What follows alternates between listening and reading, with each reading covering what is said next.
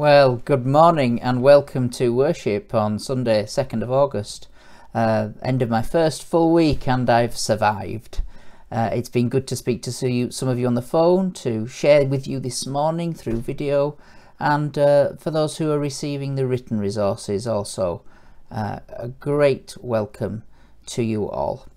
We're going to pray in a moment uh, as we look towards the uh, scripture reading that we'll be using this morning, taken from Romans uh, chapter 12, verses 1 and 2, that talks about the renewing of the mind and the transformation of the mind, following on very much from our thoughts last week as we looked at the newness, the, the new thing that the Lord is doing. But first of all, let's pray. Father God, we thank you that you are our God, that you are our eternal sovereign Lord that you have prepared us for meeting with you and with one another this morning through worship. And Lord, we pray that you will reveal yourself anew. We will grasp once again the awesomeness of you. And Lord, that you will help us to transform in whatever ways we need to, to become more and more like you and the person you designed us to be. Lord, bless us as we worship, and may in that return that blessing come back to you from our heartfelt praise and thanksgiving. In the name of Jesus. Amen. We're going to sing a song of praise together about this Jesus. Crown him with many crowns, the Lamb upon the throne. Uh, the words and the music will come up on the screen. Join in as we praise our Lord this morning.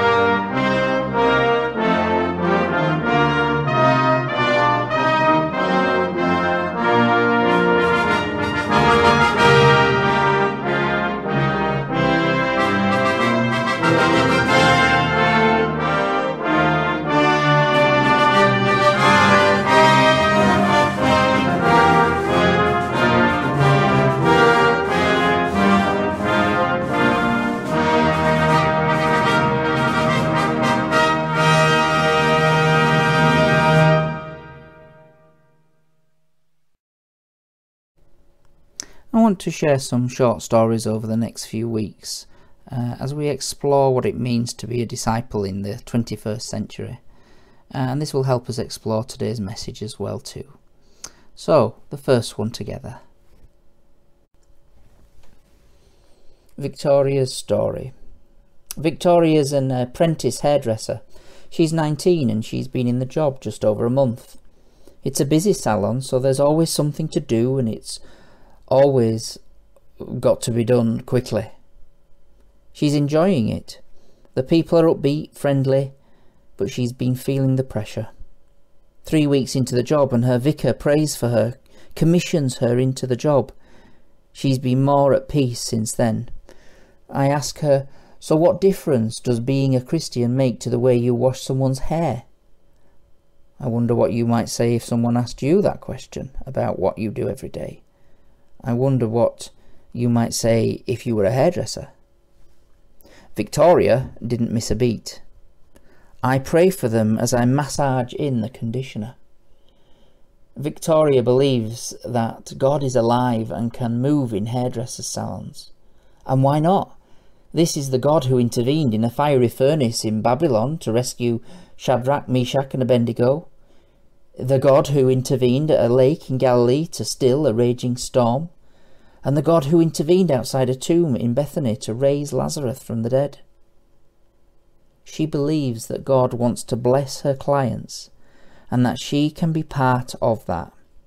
After all, is this not the God who sends rain to the righteous and unright, unrighteous, who is not willing that any should perish, whose essence is love, and who sends his people to love their neighbour as themselves? Victoria believes in the power of prayer and in God's freedom to respond in his own way and his own time. She doesn't need to see the results of these prayers. Indeed, this side of heaven, for the most part, she probably won't but it's still worth praying. God will be a listening to her. Victoria's praying is an invisible gift to her clients, soothing conditioner for the soul, not just the hair. Still, behind the prayers lie a whole set of beliefs. Victoria believes that her daily context is in a, in a hairdressing salon is important to God, and why shouldn't she? It is not the case that the isn't it not the case that the earth is the Lord's and everything in it? She believes that the actual work she does is important to God, that the work itself can be done in a distinctive way. The actual massaging in of the conditioner, kneading in it into the scalp, learning what level of pressure to both effectively and relaxingly for the individual uniquely created in the image of God no doubt the Apostle Paul and tent maker who wrote to the slaves in Colossae and encouraged them to do whatever they did as working for the Lord, would have been cheering Victoria on.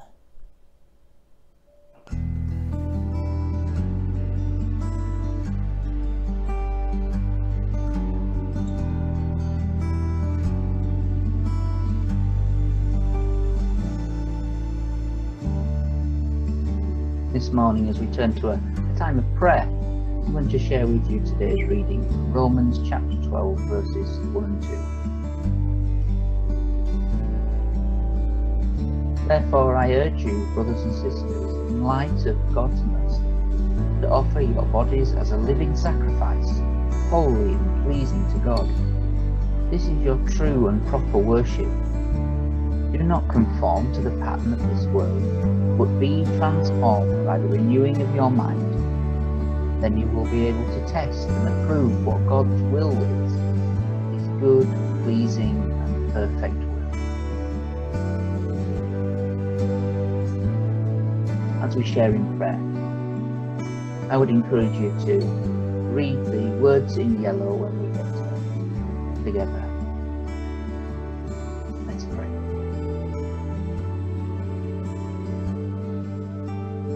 Father, we thank you for the of our minds. We thank you for intellect, for creativity, for imagination, for thought. Together we say, Father, renew my mind.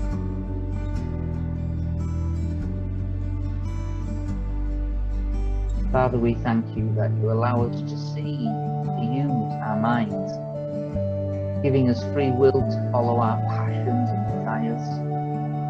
We confess that at times we do not use our minds for all that is good, or to seek your will. Father, forgive us.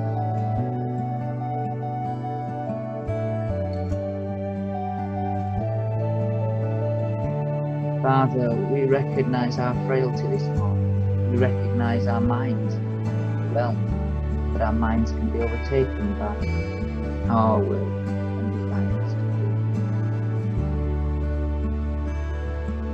Help us to keep control of our thoughts and to always submit to your desires. Father, strengthen us.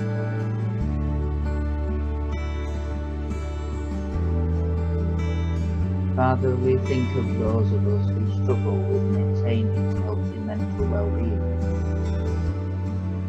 Anxiety, stress, depression, personality disorder, bipolar psychosis. Whatever the area of our difficulty, we pray for your mercy, your grace. Lord, Father, have mercy.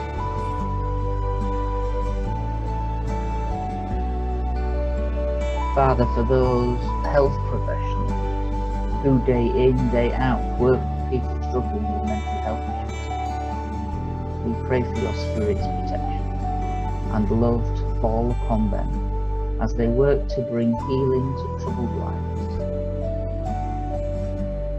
Father, protect them.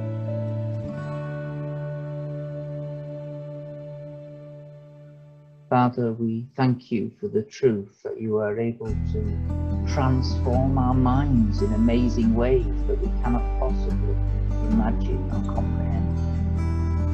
This morning, as I worship you, transform my mind once again so that I can discern your good and pleasing will for my life and for those who I love.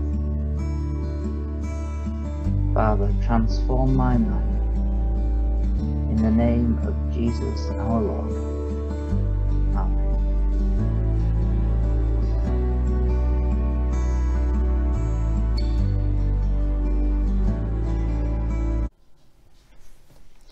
Those prayers very much acknowledge that we are weakened human beings, and uh, this next little song says, At the moment of my weakness, we are offered the amazing power and presence of the Holy Spirit uh, to transform those weak, helpless situations into one of glory to God. Watch the video as it plays.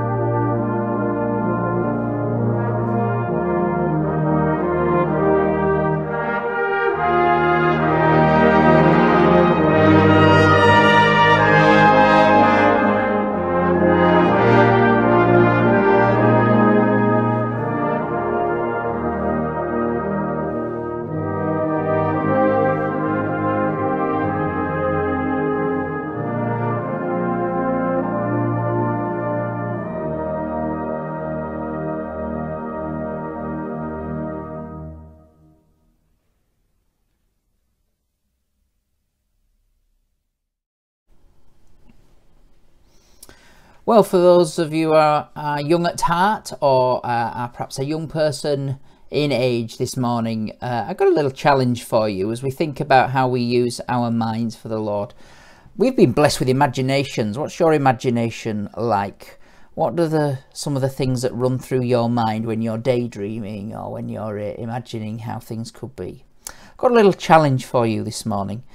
Uh, whether you're an artist or whether you are uh, someone who likes writing poetry or perhaps making up music, um, whatever your skills are, uh, this morning I wonder if you could draw a picture of or write some words that describe in your imagination the perfect world. What it might have been like uh, right at the beginning um, with Adam and Eve before the fall of the uh, of mankind with the apple incident. Uh, why don't you try and draw or paint or create or make a piece of music that shows and uses your imagination to show what the world might have been like? And if you're up for doing that, maybe you could uh, send it in or you could record it and send it uh, to us on email uh, or send it on uh, WhatsApp. Get in touch how to do that and uh, we will find a way of sharing that with other people, your imagination at work. But just uh, whilst you're thinking about that, we have a song for you that says we're going on a journey. Um, and uh, it's a song of praise. It's a song that reassures us that even on this journey, when things get tough and go upside down and we're struggling and perhaps our minds aren't working properly, then Jesus is there to walk with us, to carry us at times and to help us cope with that. Join in this great song of praise. You can even do the actions. Hey guys, we're going to do a song now called Going on a Journey. So we're each going to choose a type of transport to go on our journey. I think I'm going to choose riding a horse. What are you going to choose, Rach? I'm going to choose going on a train. Cool. What about you, Tom? Uh, I think I'll be a plane.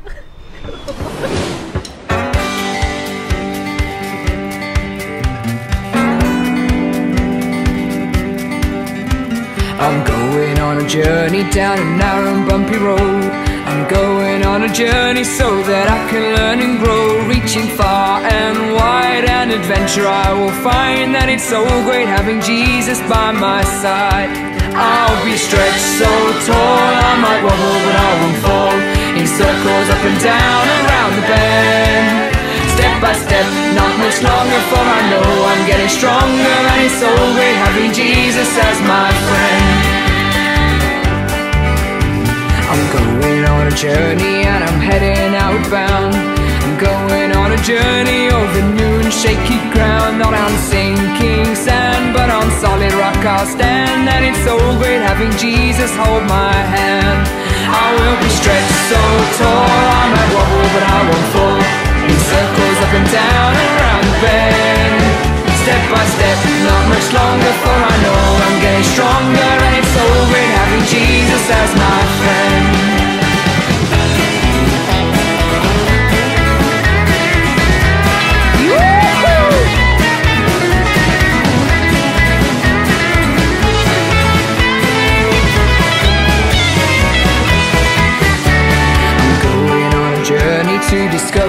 explore I'm going on a journey cause it's fun to see some more. Such an awesome sight when I reach the highest height And it's so great having Jesus in my life.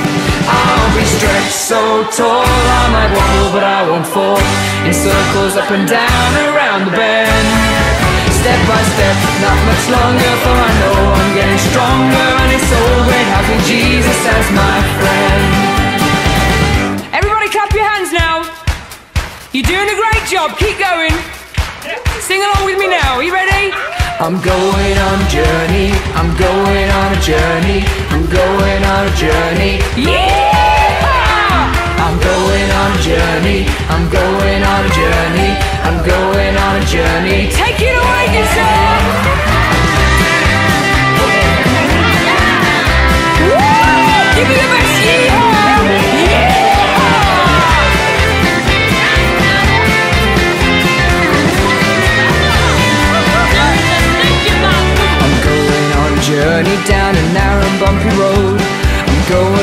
journey so that I can learn and grow Reaching far and wide, an adventure I will find And it's so great having Jesus by my side. I'll be stretched so tall, I might wobble but I won't fall. In circles up and down, around the bend. Step by step, not much longer for I know I'm getting stronger And it's so great having Jesus as my friend. I'll stretched so tall, I might wobble but I won't fall. In circles up and down around the bend. Step by step, not much longer for I know I'm getting stronger and it's great having Jesus as my friend. Step by step, not much longer for I know I'm getting stronger and it's so great having Jesus as my friend. Step by step, not much longer for I know I'm getting stronger and it's so great having Jesus as my friend.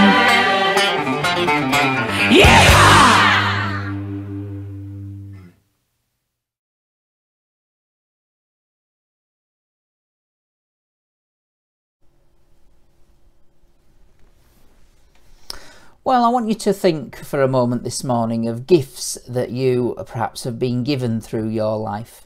Maybe uh, birthday gifts, maybe uh, Christmas gifts, maybe anniversaries, uh, perhaps even a, a retirement gift or other special occasion. Well, uh, what what feelings and emotions did these raise up for you? Perhaps there were moments of happiness and thanksgiving. Maybe there was sadness attached on leaving somewhere or excitement about what that gift meant to you because of the giver and who they were. Well, I want you to, like the young people, use your imagination this morning. Imagine getting that gift in the following circumstances and again, think how you would feel or react to these. Firstly, you receive a, a crystal vase, but it has a huge chip and a crack in it. How would you feel? Or you, you receive a, a birthday check uh, from a family member who wants to give you some money, but when you try to deposit it in the bank, you find it's been cancelled. What would that make you feel like? Or you, you receive a, a huge bunch of flowers, they arrive for a special anniversary with the wrong name on them. Or what about um, a gorgeous looking birthday cake that you just can't wait to sink your teeth into? It looks great, but when you do bite into it, it's made from salt instead of sugar. Well, last week I talked a lot about the newness of God and how uh, He has on offer for us uh, the opportunity for transformation and a new beginning. And um, today I want us to look at what Paul might be saying when he wrote those words that we read earlier. I'm going to read them to you again, this time from the New Revised Standard Version, and it says, I appeal to you, therefore, brothers and sisters, by the mercies of God, to present your bodies as a living sacrifice, holy and acceptable to God, which is your spiritual worship. Do not be conformed by this world, but be transformed by the renewing of your mind, so that you may discern what is the will of God, what is good and acceptable and perfect. Why do we receive gifts? Well, I guess to, to say thank you, to show appreciation, to bless the receiver, uh, to mark an occasion. Well, let's look at what Paul is saying about giving and offering to God. Firstly, when it comes to God, what are we to offer? Well, put simply, Paul says our bodily dedication be a living sacrifice. In this first verse, we see both, both the what God requires and why he requires it. Paul was trying to address the issue that the Jews at the time would have been struggling with a, a strict system of rules, regulations, laws, and sacrifices, where what they they was what they were basing their worship on. In Old Testament times, living sacrifice would have been a, a contradiction in terms. The whole point of a sacrifice was that it was killed. You know, the Church of England rector and writer Jago Wynne writes Our act of worship is no longer to bring a sacrifice, but to be one ourselves. We remain living. It is all of us that is being offered. Worship is about what I say with my tongue, it's about what I watch what I think, where I go with my feet. Being broken, sin stricken people that, like us, the Jews, um, are unable to fulfill their requirement found in the sacrifices. But Jesus can. And so Paul is telling the reader and us God's mercy seen in his giving of Jesus and Jesus giving of his life for us shows us mercy. Why should we be living sacrifices? Because we have experienced God's mercy. As Nicky Gumbel writes, uh, God wants you and I to offer all of ourselves and all of our lives, our time, our ambitions, our possessions, our wealth, our ears, our mouths, our sexuality, as well as our mind, emotions, and attitude. Paul's description of a, of a living sacrifice also reminds us that we have to go on offering our lives as sacrifices to God, offering the whole of our life for the whole of our life. As Eugene Peterson, the, the writer of the Message Bible, puts it, take your everyday, ordinary life, your sleeping, your eating, your going to work and walking around life, and place it before God as an offering. Just think back for a moment to the story of Victoria that I shared earlier in our prayer time. Her every day became her living sacrifice of praise and worship to the Jesus she loved. And the result? God is pleased we if we offer a living and holy sacrifice. That's the what and the and uh, we are to be and the and the why. But what are we to avoid in doing this?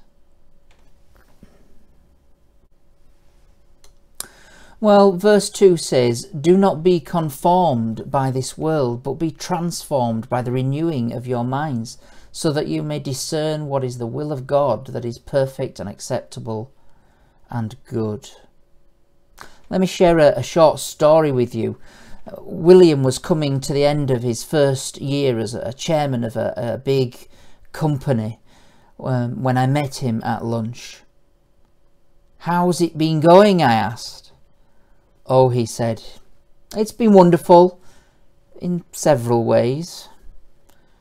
The company's doing well and I'm proud to be part of it. Why only several ways? I asked, picking up the implied hesitation in the way he'd answered. Well, he said, I've, I've only just realised that my problem has been what my problem has been. Everyone in the company has a clear idea of how they want the chairman to act. They sort uh, uh what sort of meetings they think they need, and so on. I've been my best. I've done my best to make my peace with everyone. I've gone out of my way to learn the procedures they have in place. But I've figured out now I've gone too far. I've left, let their expectation dictate the shape of my mind, of my work, of how I spend my time. I now need to turn them inside out. I have my own ideas of what we should be doing, and from now on I'm going to set the pace. Now, of course, a, a wise executive will want to listen carefully to those who know more about the company than he or she does. And to this extent, the picture doesn't quite fit what Paul's saying, but it does in the all important point. Paul's appeal in verse 2 of Romans 12 is that we would refuse to let the present age squeeze into, squeeze us into its mould. Dictate to us how we should think and indeed what we should think, and tell us how we can and can't behave. Instead, we are to be transformed. Our minds need to be renewed. We have to set the pace ourselves and work out what sort of people we should be. The basis of this is not what the surrounding culture expects of us, but what God in His mercy has done for us. And for us, as, as we prepare to launch our mission in a, a new setting and a new context at Hayfield Road, we too must be ready for God to transform our minds and keep our eyes fixed on Jesus and His mission. We go to serve the community, to serve one another. But they, we, are not our master. That honour and role belongs to our Lord Jesus.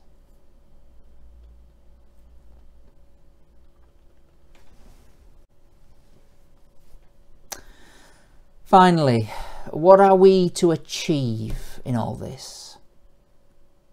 Godly transformation. The second half of uh, verse 2 says, So that you may discern what is the will of God, what is good and acceptable and perfect. A humble, a submissive mind transformed by the Holy Spirit will be able to discern God's will and we'll be able to fulfill it. What an achievement! And what a promise! To fully please the Lord, to be at the centre of His will, and, and to walk the path He has laid out for us. What an honour and a privilege! To finish, I want to share some interesting and wise words by Commissioner Flora Larsson, the, the late mother of retired General John Larsson. They may help someone listening or reading this morning in this process of transformation and discerning God's will. It's entitled Understand Yourself. Sometimes we do and say things which we afterwards regret and we say, whatever made me do or say that? Everyone's conscious of the fact that he or she has better or worse days. Some scientists claim we have found three rhythms of behaviour which influence us all. Firstly, the, the physical cycle lasting 23 days, which affects our endurance, the emotional uh, rhythm, which lasts 28 days, which affects our creative ideas and optimism. And thirdly, the intellectual rhythm lasting 33 days, controlling memory and clarity of thinking. You can imagine how one feels when one is down in all three circles and rhythms at once. Scientists claim is it, it is at such times that accidents happen at work, children get bad reports in school, and marriage couples decide that they should seek a divorce. It is more, most necessary then not to take any deci- decisive steps when we feel under the weather. Wait a few days for feelings to improve, and we shall see that the situation is not as bad as we had imagined. It is a good rule never to get out of the train in the tunnel. Wait until you come out into the light so that you can see and judge events more truly.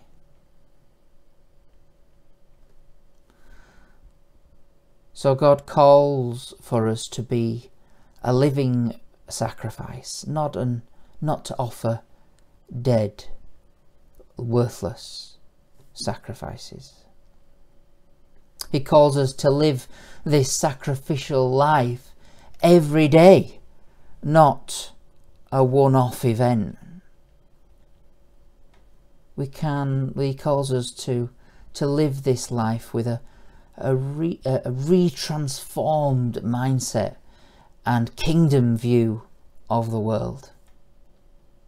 And he calls us, as we discover and discern more about him and his will, to live that life with Jesus at the centre.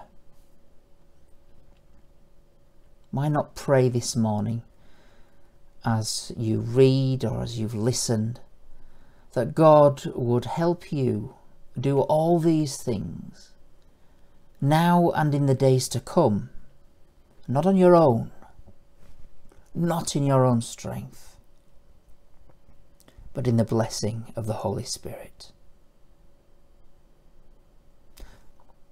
Watch the video as it brings to us the beautiful words of the song Jesus, be the centre, and make your response to God as He leads.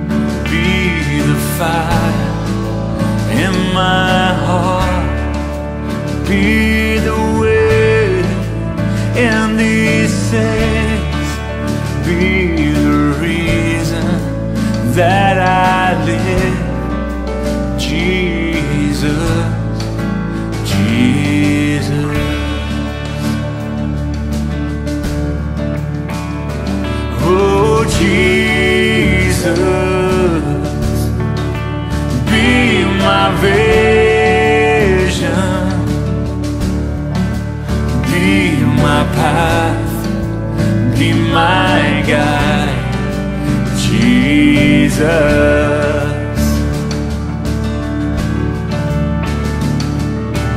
Jesus, be my vision, be my path, be my guide.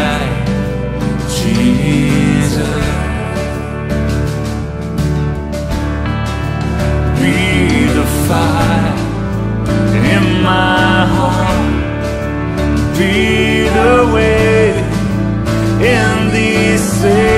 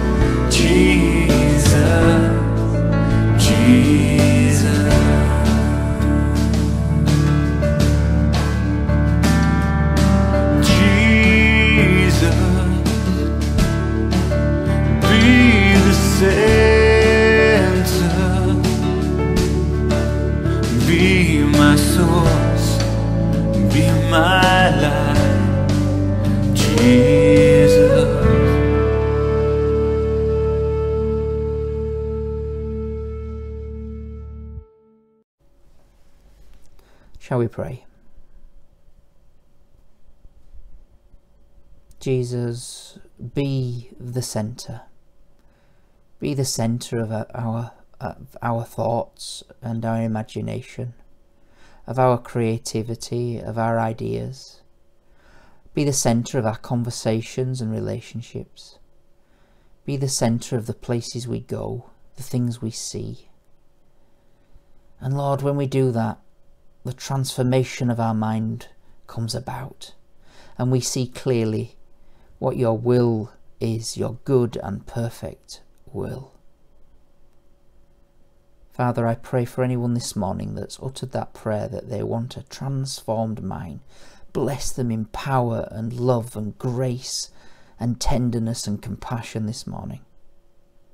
And Lord, as we go into this week and face all sorts of situations, help us view them with a transformed mind.